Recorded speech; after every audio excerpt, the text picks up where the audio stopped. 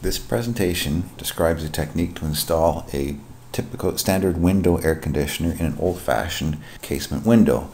Uh, a window that looks something like this. So if you have uh, old hinged casement windows, uh, this presentation describes uh, how to install an air conditioner.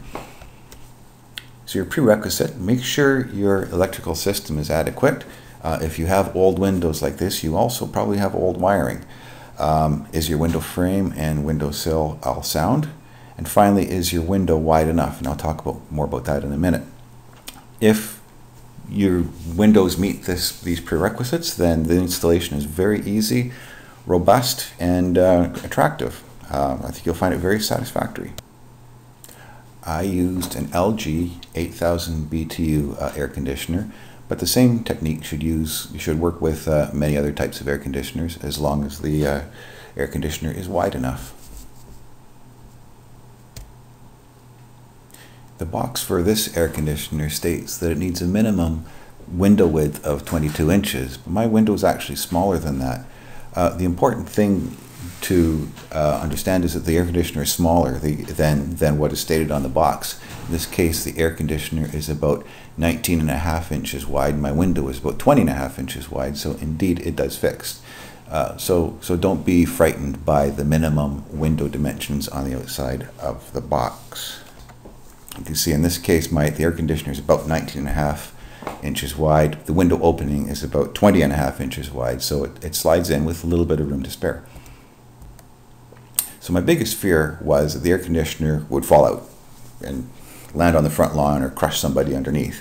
Um, but this installation is so robust it cannot possibly happen. The air conditioner is securely held on all four sides. On the bottom, there is a channel um, in the air conditioner that mates with a metal ridge in the window. On the sides, we bolt I bolt wood, a piece of wood on each side of the air conditioner, which uh, mates up with wood which has been bolted on the inside of the window. Uh, on the top, there's a metal channel that is uh, installed on the air conditioner as it comes from the factory, and I have a brace that goes into that metal channel, which again holds that metal channel up against the uh, window frame. So all four sides are securely uh, bolted. The slope of the air conditioner is important. It has to slope such that the water condensate will drain out to the outside um, the windowsill has the right slope, obviously, because it has to shed uh, rainwater. Uh, and the channel on the bottom and the uh, metal channel on the top of the air conditioner are positioned to give it the right slope. Uh, so it, it's fortunate that the slope on this windowsill matches up the slope that the uh, air conditioner is expecting to see. So you start with a window that looks like this. You will remove both the in, inside and outside window you will note at the bottom at the bottom of the window there is this metal ridge which is used to control uh, rainwater. Um, that that will mate in with the bottom with a, a, a, depression on the bottom of the air conditioner shown in this slide. You can't see it very well because it's covered with uh, uh, weather stripping. So that's that's how the bottom of the air conditioner fits into the window on the sides of the air conditioner, we will bolt, bolt on a piece of wood. These, this will be, uses the screws that were originally intended for the accordion uh, apparatus that goes on either side. So both sides uh, receive a piece of wood, uh, that's, which is basically 90 degrees to the uh, bottom of the air conditioner. Um, and that will mate with uh, wood that, that you install on the inside of the window frame. This wood will be sloped appropriately to match the slope of the windowsill uh, and the slope that the air conditioner needs. So it is not quite vertical as you can see right here. Uh, when you put slide the air conditioner into the opening, you can see here where the uh, wood on the air conditioner is going to touch the wood on the window frame. Uh, you, you, can see that this, this will effectively uh, secure the air conditioner from sliding any further outside the window.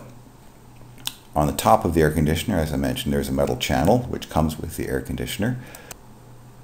We will put a piece of wood in that channel. I call this wood uh, the top brace. This wood pushes up against the inside of the window frame. This wood also has a, an aluminum channel uh, screwed on top of it uh, which will hold the window that uh, will be fitted in above the uh, air conditioner. So that window, uh, that brace just slides into the top of the air conditioner and up against the window.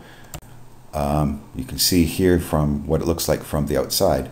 On top of that top brace is a aluminum channel which accepts the acrylic window which goes in on top of the uh, air conditioner. So here I, I, I show the, the, acrylic sheet going in, sliding in first into the channel and then just up against the window frame. That is held in place with uh, trim on both sides. And you can see the trim also holds the, um, the top brace uh, in place. It's, the trim is held into the window frame with uh, a, few screws.